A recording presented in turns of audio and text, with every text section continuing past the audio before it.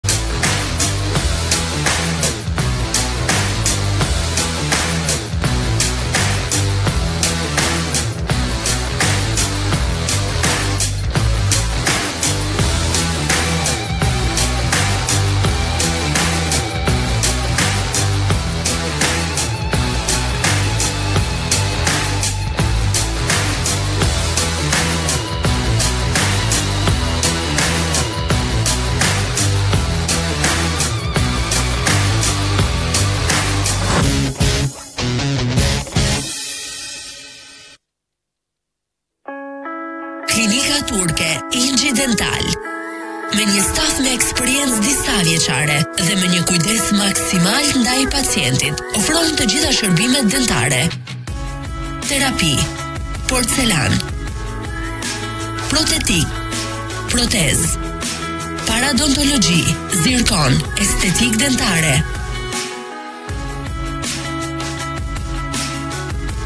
Implantologji grafi. Klinika për cilësinë e saj unike mban përgjegjësi 5 vjeçare për punimet e saj.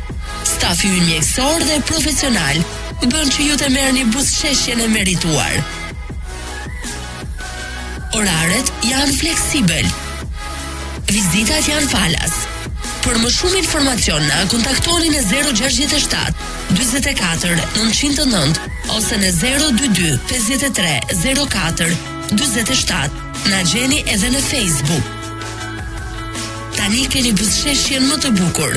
Ju mirëpresim nga e hëna në të shtunë, në adresën Shkodër, Lagjja Vojo Kushi, Rus, Rruga Martin Camaj, Godina Peskashe, kati i dytë numër 752. Klinika Turke, Inxhi Dental. Dëshirat lindin idetë, idetë krijojnë festat dhe festat zbulojnë vendet. Vendet kërkojnë ambientin dhe ambientet jua sjellim ne. Kudo që ju të dëshironi ne ju mundësojmë dy lokale portative me kapacitet katërqind vende secili. Me ndriçim rrezatues dhe dekor sipas preferencave tuaja. Gjithashtu ne ju mundësojmë edhe guzhinën duke përfshirë mishin e freskët për gëzimet tuaja familjare si dasma, fejesa e të tjerë. Për të gjitha këto ka një mënyrë kontakti. Mund të na kontaktoni në 068 37 01 620 me zotin Gazmend Lazri. Adresa Troshan Lezhë.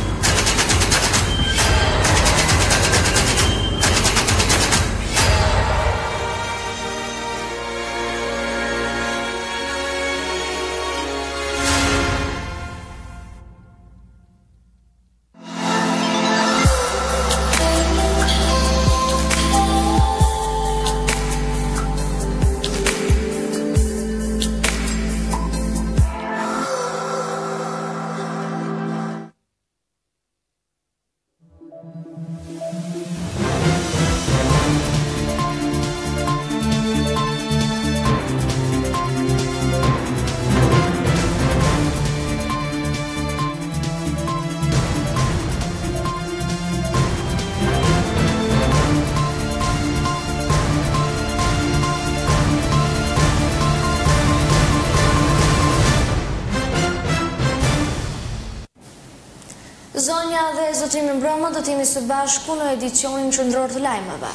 Mirëmbrëma dhe përshëndetje.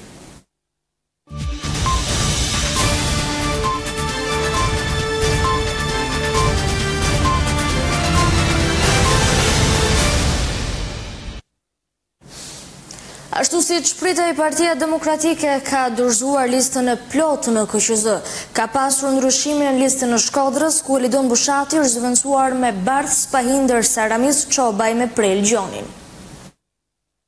Partia Demokratike dorëzoi këtë të martë në Komisionin Qendror të Zgjedhjeve listat e plotësuara dhe të ribëra të kandidatëve për deputetë, duke plotësuar edhe vendet e lëna bosh prej mesnatës së të premtës së shkuar. Nga njëqind e dyzet kandidatë, listat e reja përbëhen nga njëqind e nëntëdhjetë e katër kandidatë gjithsej, ku disa qarqe rezultojnë me mbivendosje emrash. Kështu nga njëmbëdhjetë kandidatë, aq mandate sa kanë në Parlament, qarku i Shkodrës rezulton me tetëmbëdhjetë kandidatë. Po ashtu rezultojnë edhe disa qarqe të tjera, duke e çuar në njëqind e nëntëdhjetë e katër numrin e tyre. Për shkak të tërheqjes së disa kandidatëve në listat orët e fundit, Partia Demokratike është detyruar të bëjë disa ndryshime në renditje duke zëvendësuar të larguarit. Helidon Bushati i Shkodrës zëvendësohet në renditje, duke u ngjitur në vendin e katërt nga Bardh Spahia. Në vendin e gjashtë në këtë listë është shtuar Gjok Uldedaj, që nuk ishte më herët pjesë e listës, në vend të Ramiz Çobajt, të tërhequr publikisht nga gara njëzet e pesë qershorit, dhe është vendosur kandidati Prel Gjoni, duke bërë që lista e Shkodrës të pësojë ndryshimet më të mëdha. Kështu në krye të listës është Romeo Gurakuqi, ndërsa vijon renditja me Izmire Ulqinakun, Lorenc Lukën, Bardh Spahia, Nard Ndoka, Gjok Uldedaj, Anton Kokaj, Prel Gjoni, Isuf Meta, Benardeta Syku, Arvid Bushati, Ardit Qybyli, Denis Fani, Aurel Markaj, Denisa Meçi, Orjeta Shkambi, Nikolin Staka, Zef Shtjefni. Edhe në listën e qarkut Lezhë, Preç Zogaj ka qenë i pesti në radhitje dhe është zhvendosur i katërti. Në qarkun e Lezhës, kandidatët e listës së Partisë Demokratike janë Aldo Bumçi, Lindita Metaliaj, Anton Frrokaj, Preç Zogaj, Martin Biba, Luigj Gjergji, Enkelejda Rica, Klajdi Reçi dhe Albert Loçi.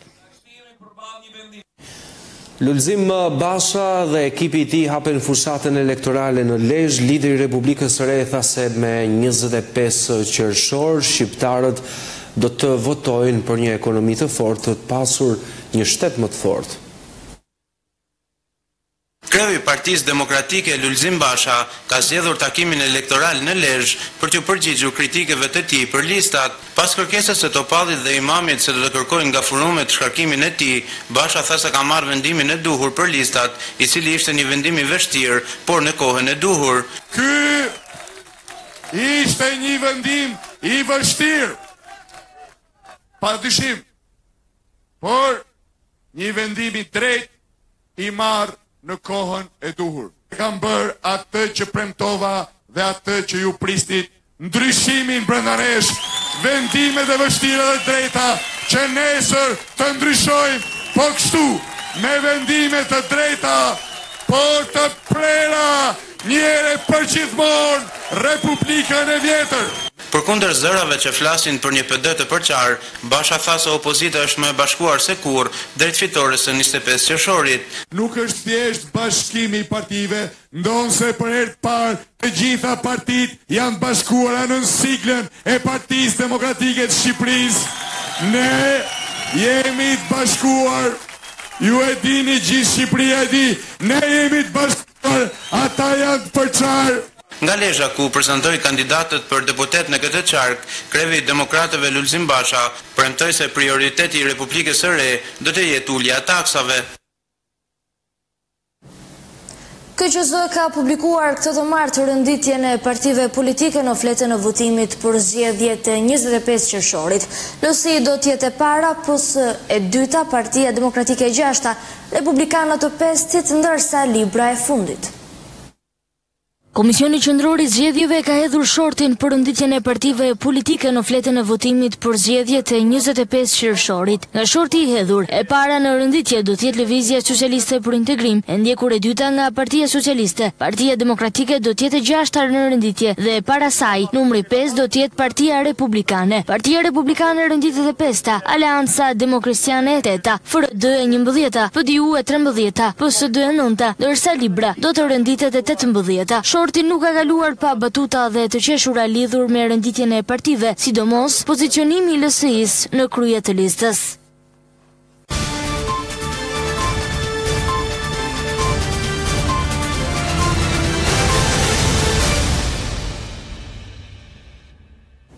Dy të rinj nga Puka janë arrestuar teksa policia i sekuestroi fara kanabis. Nga ana tjetër policia Shkodër ka arrestuar një njëzet e gjashtë vjeçar që po qarkullonte i armatosur me automjetin e tij.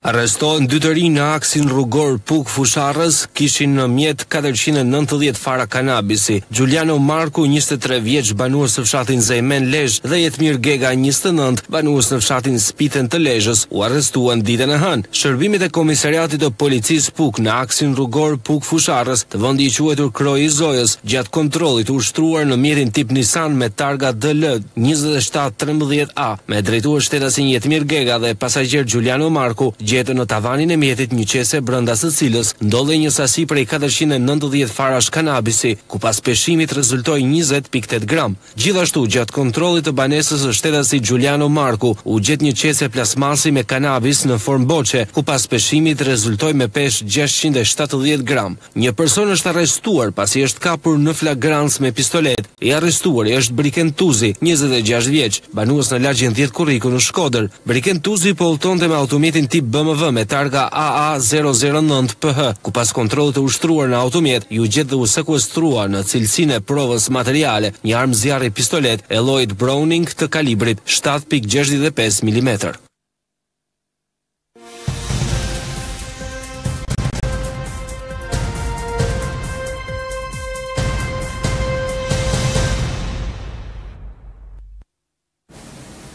Gjatë mbledhjes së Këshillit Bashkiak Shkodër këtë të martë ka dështuar miratimi i buxhetit faktik të 2016-s. Një ndër pikat e diskutuara ishte miratimi i rregullores i përbërjes dhe funksionimi i komisionit të strehimit. Miratimi i Rregullores për përbërjen dhe funksionimin e Komisionit të Strehimit u desh të miratohej pas diskutimeve të gjata të këshilltarëve gjatë mbledhjes së Këshillit Bashkiak Shkodër këtë të martë. Këshilltari i FRD-së Fatlum Nurja u ndal te shkeljet e Komisionit të Strehimit. Meqenëse në atë ashtu quajtur Rregullore ju në mes të saj, se e filloni bisedën do ndërtojmë Rregullore dhe pastaj mrapa thoni që brenda kësaj Rregullore është edhe Komision, ju bëj me dije zotni se Neni pesëdhjetë e katër pika j flet që ë Neni pesëdhjetë e katër pika a flet që Këshilli Bashkiak ndërton komisionet dhe jo pika k. Pika k është vetëm për rregulloret. Dhe ju keni fut në një germ, një germ të Nenit pesëdhjetë e katër të dyja bashkë, sepse në fakt i keni fut aty që me kamuflu dëshirën tuj për me ndryshu komisionin e strehimit social, pra shërbimin social pra faktikisht të strehimit. të mblidhet propozuesi, Komisioni i Strehimit dhe bashkia në kuptimin e din vet drejtoria dhe drejtoria juridike të dalin me një konkluzion, ta bini një projekt vendim që është për të gjithë këshillin ok dhe ne ta votojmë pastaj. A jeni dakord për propozimin që bëjmë? Se duhet me ndërru Nga ana tjetër, dështoi për të dytën herë miratimi i buxhetit faktik të dy mijë e gjashtëmbëdhjetës nga Këshilli Bashkiak i Shkodrës, pasi vetëm njëzet e dy vota shkuan pro dhe nëntë ishin abstenime. Mbledhja e këtij fundmuaji kaloi me shumicë votash të gjitha pikat e tjera të rendit të ditës, ndërkohë që edhe pika dhjetë për miratimin e shpërblimit për ekipet fituese në kampionatet kombëtare për vitin sportiv dy mijë e gjashtëmbëdhjetë dy mijë e shtatëmbëdhjetë u shoqërua me kritikat e një pjese të këshilltarëve rreth vlerave të akorduara. Ka nisur punimet për ndërtimin e shtëpisë së Mariana Begut, vullnetarët shprehen optimistë për nismën e ndërmarrë dhe kërkojnë vëmendje më të madhe nga shteti ndaj këtyre familjeve. Fituesja e gjeniu i vogël, Mariana Begu, shumë shpejt do të ketë një shtëpi të re si të gjithë fëmijët e tjerë. Kjo falë nismës së ndërmarrë nga Shoqata Ekomendje, në bashkëpunim me vullnetarë të tjerë nga qyteti i Shkodrës dhe qytetet e tjera që kanë kontribuar për të ndërtuar shtëpinë e re të Mariana Begut. Punimet për ndërtimin e shtëpisë së re nisën që pasditen e së hënës dhe vullnetarët shprehen të kënaqur dhe optimistë se shumë shpejt Mariana do të ketë një shtëpi të re, si edhe kërkojnë një vëmendje më të madhe nga shteti. Ne të gjithë si shoqëri i detyrohemi këtij talenti, Marianës, dhe çdo talenti, çdo fëmije që është i talentuar që t'i krijojmë mundësi, mos e vrasë mendjen, Ku do flen natën po ta vrasë mendjen çfarë dhe si ta zhvillojë talentin e vet. Ne jemi koshient që shteti jonë, shoqëria jonë është një shoqëri e varfër, por unë besoj që është e pasur mjaftueshëm për të mos lënë askënd të flejë në kushte të tilla. Në vendin tonë ka talente, jo vetëm në muzikë, fëmijët janë të talentuar jo në muzikë, në shkenca, në të gjitha fushat e tjera. Por shteti, ministritë, arsimi, opozita, gjithë klasa politike, gjithë shoqëria duhet të jetë koshiente dhe të thotë që mjaft më me me situata kaq të pakëndshme, por të ndihmojmë dhe të promovojmë njerëz dhe individë kaq të mirë dhe kaq që na nderojnë kudo, jo vetëm këtu në Shqipëri, po kudo në botë. Marjana dhe familja e saj jetonin në kushte të mjerueshme dhe Bashkia Shkodër e kishte lënë në harresë fituesen e Gjeniu i Vogël, pavarësisht premtimeve të shumta të dhëna nga ky institucion. Ndërkohë që në kohët e fundit nuk munguan as përplasjet në distancë të nënës së Marjanës me Bashkinë Shkodër. Për herë të parë në Shëngjin ka mbërritur një kroçere, mbi gjashtëqind turistë vizitojnë rajonin e Lezhës dhe shijojnë gastronominë e kësaj zone. Pasditja e së hënës ka qenë një moment i veçantë për turizmin në rajonin e Lezhës. Për herë të parë në gjirin e Shëngjinit ka mbërritur një kroçere me mbi gjashtëqind turistë nga vende të ndryshme të botës. Anija turistike u ankurua në port, ndërsa turistët të orientuar nga agjencitë turistike eksploruan bukuritë natyrore dhe shijuan gastronominë e Lezhës. Shefi i marketingut në portin e Shëngjinit Esad Dushku u shpreh se ardhja e kroçerës është një moment historik e kjo sipas tij është mundësuar falë investimeve që janë realizuar në infrastrukturën portuale. Është një moment historik për portin tonë për faktin që është hera e parë që nga themelimi i portit që ankorohet një anije këtyre përmasave në portin tonë. Kjo ndodh falë investimeve të fuqishme që janë bërë në këtë port gjatë këtyre katër viteve, nisur nga politikat zhvillimore të ndjekura nga drejtuesit e ndërmarrjes dhe drejtori i ndërmarrjes zoti Gjergj Ventusha, sigurisht në mbështetjen e Ministrisë së Transporteve.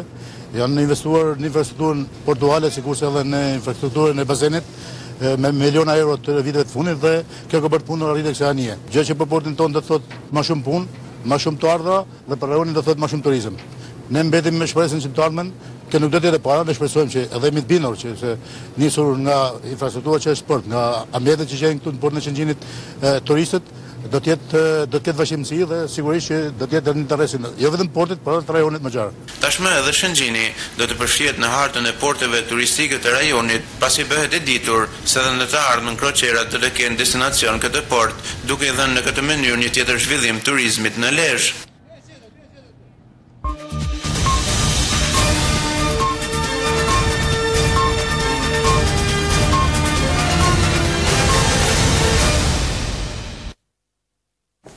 Blloku i pallateve në Tepe të Shkodrës i është nënshtruar një rikualifikimi, por banorët thonë se ky projekt është i gabuar, pasi nuk janë vendosur akoma se ku do të bëhen kanalizimet apo dhe hapësirat publike. Në bllokun e pallateve tek ish Fusha e Druve ka nisur rikualifikimi urban, një investim i Bashkisë Shkodër, mirëpo banorët nuk janë të kënaqur pasi sipas tyre ky projekt është diskriminues, pasi dy pallate nuk kanë aspak hapësira publike. hapësirë publike, ndërsa pjesa tjetër ka marrë hapësirë për parqe. Përveç kësaj, nuk ka një ndarje efikase për ujërat e zeza dhe ato të bardha, gjë e cila do t'i çojë sërish në përmbytje. E para nuk ka një rakordim me komunitetin. Krijon shumë probleme për arsye sepse disa pallate janë diskriminume. Janë diskriminuar në drejtim të asaj që nuk kanë hapësira publike, nuk kanë gjelbërim. Pra, konkretisht janë dy pallate këtu që rruga ju afrohet rreth 2 metra. Janë pallate të tjera që përfitojnë hapësira të gjelbërta që realisht i takojnë çdo çdo çdo pallatit. Ka një domethënë një katastrofë për sa i takon kanalizimit ujëra zeza, kanalizimit ujëra bardha, rrjete kapëvore dhe ujësjellësi. Në rastin tonë konkret kemi kanalizimi ujëra zeza është në një linjë me me ujërat e ujësjellësit. Ky këtu është një kolektor kryesor 1500 që vjen nga zona e rotondës së shkollës pyjore dhe deri këtu del në në Zall të Kirit. Mirëpo çfarë ndodh.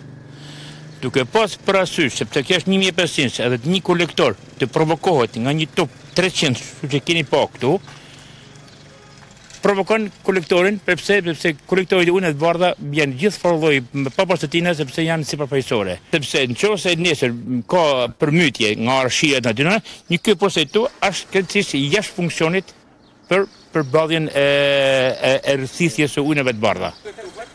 Projekti parashikohet të kryhet për dyzet e pesë ditë, ndërsa qytetarët thonë se Bashkia Shkodër nuk ka bërë asnjë konsultim me komunitetin për këtë projekt. Ata kërkojnë që teknikisht projekti të përmirësojë kanalizimet dhe ndarjen e hapësirave publike mes pallateve. Kullimi i tokave bujqësore vijon të jetë problem në Lezhë. Gjovalin Gjeloshi, drejtor i bujqësisë në Bashkinë Lezhë, thotë se nuk është ndërhyrë prej njëzet e pesë vitesh për hapjen e kanaleve kulluese. Kullimi i tokave bujqësore mbetet një problem shqetësues në zonën e Lezhës, duke dëmtuar rëndë sektorin e bujqësisë. Kjo ka qenë deklarata e drejtorit të bujqësisë në Bashkinë Lezhë, Gjovalin Gjeloshi, sipas të cilit, prej njëzet e pesë vitesh nuk është ndërhyrë në pastrimin e kanaleve kulluese. Dhe tokat bujqësore sot në rrethin e Lezhës po vuajnë nga lagështia e tepërt, po rivenetizohen, sepse ka njëzet, njëzet e pesë vite që nuk është vënë dorë në pastrimin dhe thellimin e kanaleve kulluese të dyta ose të treta. Për dhjetë muaj punë, Ne kemi pastruar e thelluar gjashtëdhjetë kilometër kanale kulluese, kryesisht të dyta. Është një shifër e kënaqshme po të shikohet në aparencë, por po ta krahasojmë këtë shifër me nevojat e mëdha që ka sektori i bujqësisë në rrethin tonë, kjo është një është një thelb, si me thënë, ë ne kemi mbi treqind e shtatëdhjetë kilometër kanale të dyta kulluese Dhe, tre herë më shumë kanale të treta kulluese të cilat kanë nevojë urgjente për t'u pastruar dhe të. Drejtori i bujqësisë në bashki ka rezerva dhe për institucionin që ai përfaqëson, pasi në buxhetin e dy viteve nuk është parashikuar asnjë lek për sektorin e bujqësisë. Nga ana e bashkisë, as vitin e kaluar, as këtë vit nuk është parashikuar. Asnjë lek në buxhetin për sektorin e bujqësisë. Mijëra hektarë tokë bujqësore në Lezhë vijojnë të jenë djerrë, pasi fermerët hezitojnë të mbjellin, për shkak se toka përmbytet disa herë në vit dhe nuk jep rendiment.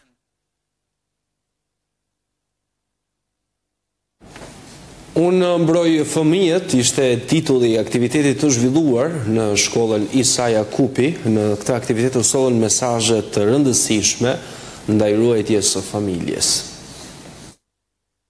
Në kuadër të Javës së Familjes shkolla nëntëvjeçare Isa Jakupi në Dobraç ka organizuar një aktivitet sensibilizues me temë Unë mbroj fëmijët. Mesazhi që erdhi nga interpretimet e fëmijëve ishte harmonia dhe respektimi i familjes, ku së bashku mund të kemi një familje të shëndetshme. Në kuadër të ditës së familjes, grupi i mbrojtjes së fëmijëve së bashku me World Vision ka organizu një aktivitet. Pra, aktiviteti do përmbajë, të tregojë se sa, çfarë familjesh kemi të dhunshme dhe familje të mira. Atëherë, kemi një poezi ku tregon se sa e çmuar është familja, një poezi ku tregon se si prindërit i dhunojnë fmit, një dramë shumë të trishtushme ku tregon se si veprojnë prindrit në lidhje me fmit e tyre. si dhe kemi disa thënje për të treguar se sa e çmuar është familja për ne. Kemi këngë, kërcime për të mbushur aktivitetin. Mesazhi që do të përcjellet përmes këtij është që të tregojmë për të tregojmë se si duhet të sillemi me familjen. Pjesët humoristike dhe interpretimi gjatë një drame kanë dhënë mesazhe të qarta nga fëmijët e kësaj shkolle. Ata apeluan drejt prindërve që të krijojnë një familje të shëndetshme, duke i thënë stop rasteve të dhunës. Në këtë mënyrë, shkolla Dobraçit i është bashkuar dhjetra shkollave të tjera në qytet, të cilat gjatë kësaj jave kanë dhënë mesazhe të rëndësishme për komunitetin me në fokus familjen. Një tjetër aktivitet me temë Stop duhanit u zhvillua në Shkodër këtë të hënë, këtë herë në Bardhaj. Psikologu Arvio Fishta tha se në këtë shkollë rastet e konsumimit të duhanit janë sporadike. Shkolla nëntëvjeçare në Bardhaj ka zhvilluar një aktivitet me temë Stop drogës dhe duhanit. Aktiviteti në fokus kishte nxënësit të cilët zgjodhën të përcillnin mesazhe të rëndësishme nëpërmjet interpretimeve të ndryshme. Psikologu i shkollës Arvio Fishta tha se në këto shkolla rastet e konsumimit të duhanit janë te të rralla, ndërsa është krijuar edhe grupi i raportimeve për çdo rast. Në kuadër të duhanit, Ditës Ndërkombëtare të Duhanit, ne si shkollë kemi organizuar orë sensibilitive. Njëkohësisht kemi krijuar edhe gjatë Olimpiadës kemi shpërndarë mesazhe sensibilitive mbi fenomenet e ndryshme si duhani, droga, pasojat që sjell dhe këto t'i frenojmë sa më shumë dhe të japim prioritet sa më shumë sportit si mënyra më e shëndetshme për trupin dhe gjendjen tonë emocionale. Fatkeqësisht në komunitetin tonë si në Bardhaj janë fenomene që ndodhin, por fatmirësisht në shkollën tonë janë pothuajse minimale mos me thënë sporadike, sepse bashkëpunimi ndërmjet mësuesve, ne kemi ngritur një sistem raportimi ku fëmijët raportojnë dhe fatmirësisht ne kemi një ambient që mbulohet 100% nga kamerat e sigurisë dhe menaxhojmë çdo ngjarje, çdo situatë që ndodh dhe them që Nuk mund ta përjashtoj faktin që nuk ndodh, por në qoftë se ndodh janë raste shumë sporadike dhe që janë marrë masa karshi këtyre fëmijëve. Pjesë e aktivitetit përveç nxënësve kanë qenë edhe prindërit si dhe përfaqësues të drejtorisë arsimore. Fenomeni i duhanit në shkollat nëntëvjeçare është kthyer në një shqetësim serioz për mësuesit dhe psikologët.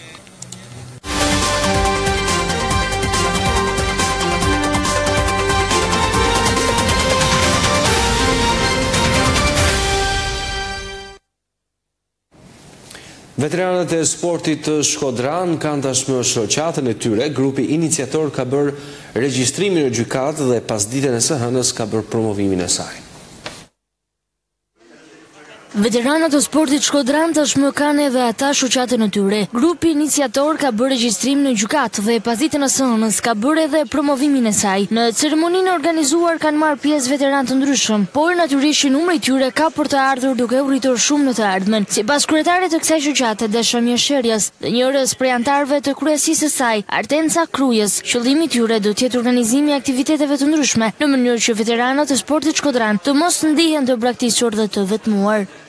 Sot ne promovojmë Shoqatën Sportive Veteranët Sportistë Shkodran, një iniciativë e një grupi shokësh, të cilët pa përtesë ranë dakord me mendimin tonë.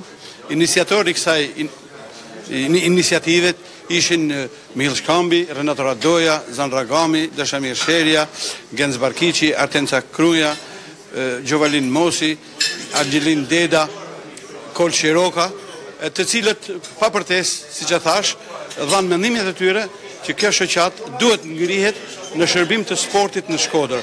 Do të bëjmë aktivitete të ndryshme, do të promovojmë sportin, do të bëjmë kampionate moshash për nder të sportistave të dalluar, ekskursione të ndryshme, në mënyrë që të gjithë veteranët ta ndiejnë veten të vlerësuar, Dhe të mos ta ndinë veten të harruar nga nga instancat sportive të qytetit tonë. Asht një gja shumë e bukur organizimi i kësaj, masi shumë shoqe edhe të ri e të reja edhe janë harru, edhe nuk janë kujtu në raste t'ndryshme që kanë pas gjatë jetës tyne. Më pëlqen shumë që aq sa kam mundësi t'i shërbej kësaj shoqate, Edhe të mundohem ma tepër për organizimin e aktiviteteve ma shumë me të rejat, por edhe me shoqet tona që të aktivizohen edhe të japin edhe ata kontributin e tyne sado modest që të jetë në këtë shoqatë që u ngrit sot.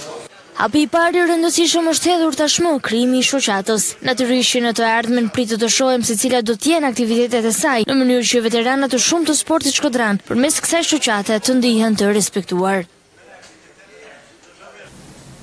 Caktimi në krye të ekipit të volejbollit të meshkujve të Vllaznisë është një përgjegjësi e madhe për mua. Kjo është deklarata e bërë nga trajneri i sapoemëruar në krye të këtij ekipi, Adrian Mikopli.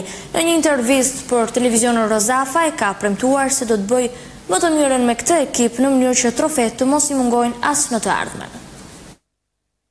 Përzgjedhjen e tij për të drejtuar ekipin e volejbollit të të rriturve të Vllaznisë, e ka konsideruar një përgjegjësi të madhe në aspektin personal trajneri i ri Adrian Mikopli. Në një prononcim për Televizionin Rozafa, ai ka pranuar se mbase ishte e parakohshme për të, marrja e drejtimit të këtij ekipi, por gjithsesi nuk mund të refuzonte ofertën e kolegut dhe mikut të tij Mark Kroçit.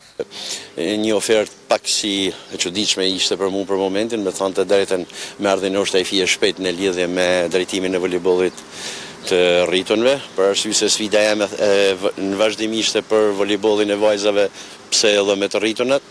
Megjithatë, një kërkesë e bame nga kolegu jem dhe miku jem Mark Kroçi nuk mund të refuzohej, pasi mendoj që Kjo ishte kurora për çdo sportist ose një trajner, është një ëndërr e madhe të drejtojnë ekipin e qytetit vet për të cilin ka lujtë shumë vite. Por ndërkohë marrja e këtij ekipi është padyshim një përgjegjësi e madhe për të, sepse do drejtojë një ekip kampion dhe nuk do të jetë e lehtë për ta mbajtur në këto nivele. Mikopli e ka të qartë këtë, por premton se do të bëjë më të mirën në këtë drejtim. Sfidë e fortë, sfidë e egër, sfidë e cila unë mendoj që nuk asht krejt e lehtë sepse ato djem janë në vendin e parë. Praktikisht detyrat janë të thella, detyrat janë të vështira.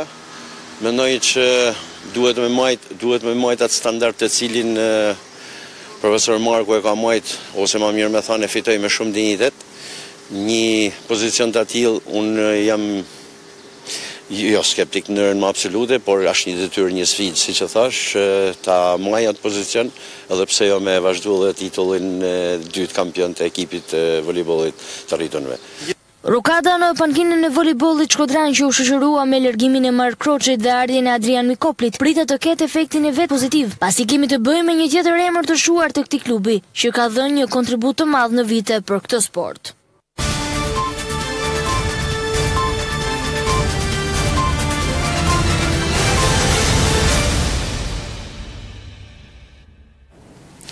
Rinoceronti ishte titulli i dramës së studentëve të Universitetit të Shkodrës, shfaqja u vendos në Teatrin Migjeni në kuadër të 60 vjetorit të Universitetit Luigj Gurakuqi. Në kuadër të gjashtëdhjetë vjetorit të themelimit të Universitetit të Shkodrës, Luigj Gurakuqi u vendos mbrëmjen e së hënës në Teatrin Migjeni shfaqja me titull Rinoceronti i Joneskos. Kjo është një nga pjesët më të qarta dhe më të shfaqura në skenat europiane të Eugen Joneskos, dramaturgut francez me origjinë rumune. Rinoceronti është një dramë kundër epidemive dhe histerive kolektive, duke lënë shtegun të hapur për interpretime nga më të ndryshmet. ku ideja e saj liberale përkon me idetë universitare, që gjithmonë shkojnë kundër totalitarizmave. Rinoceronti i Joneskos është një pjesë e teatrit e konsideruar të absurdit, por ne e kemi përshtatur duke e sjellë diçka në kapërcyell midis një teatri të absurdit dhe një teatri realist. Ideja e saj, mesazhi i saj së pari është një mesazh i natyrës estetike. Ne duhet të sjellim tekstin e madh, tekstin e madh për spektatorin tonë. Domethënë kush më mirë se sa një universitet Mund ta promovojë këtë. Dhe natyrisht në koherencë me bashkësinë, me bashkësinë, e cila ka në qendër, pra si të themi, njeriun. Është pjesë e absurdit, por është kaq afër nesh, sa sot ne më shumë se kurrë jemi në absurd. Ne të gjithë. Ju që jeni mas kamerave, ju që jeni këtu afër meje edhe unë bashkë me ju, ne ekzistojmë dhe jetojmë në absurd. Dhe kjo pjesë i flet të gjithëve. Ishte shumë e lehtë të punoj. Ishte shumë e lehtë të punoj për arsyen se ata kishin pasionin, kishin dëshirën, donin të punonin, donin, domethënë të mësonin, donin të jepnin nga vetja atë që kishin më të mirë. Edhe unë e mora atë, edhe jam vërtet e kënaqur. Kjo pjesë u vendos në skenë nga trembëdhjetë studentë të përzgjedhur nga fakultete të ndryshme që u morën për dy muaj me provat për premierën e kësaj shfaqje.